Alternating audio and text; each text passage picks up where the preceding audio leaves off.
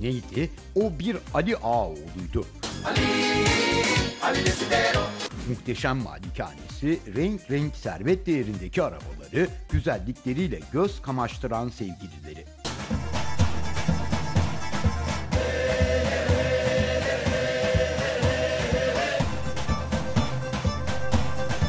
E böyle bir hayata böyle kıyafetler yaraşırdı. Kendisi de renkli bir kişilik olan ünlü iş adamı mesai saatleri içerisinde takım elbiseden vazgeçmiyor. O da el mahkum rengini taktığı kravatlara yansıtıyor.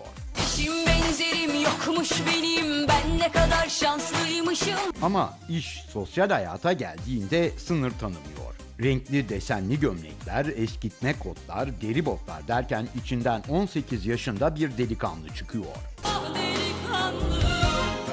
Arabalarıyla uyumlu renklerde giyinmeyi seviyor.